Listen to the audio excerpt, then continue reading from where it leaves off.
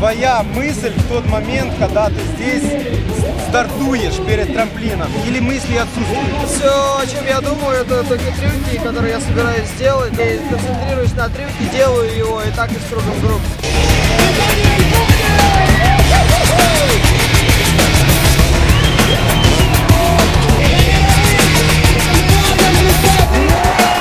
Эти люди преодолели свой страх, поэтому они могут делать то, что не может делать большинство людей.